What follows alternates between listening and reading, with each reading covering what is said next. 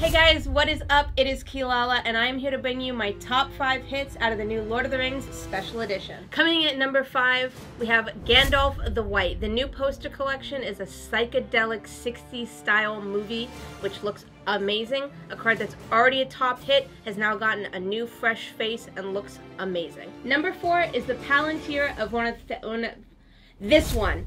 I'm not exactly sure what this card does in all of its entirety, but the poster art for this thing is freaking sick. Even just the Surge Foil extended art has my heart racing nowadays.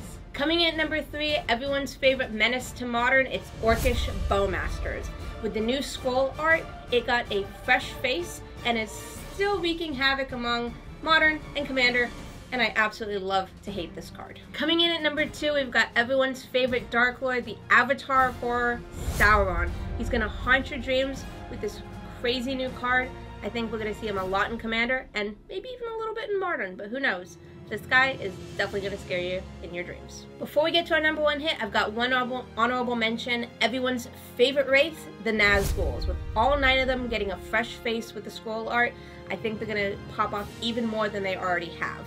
But our number one pick is the One Ring to rule them all. The poster collection is absolutely stunning. It gave this card a beautiful little makeover. Myself, Kelsey, and Dave have already pulled them. Can you pull one too?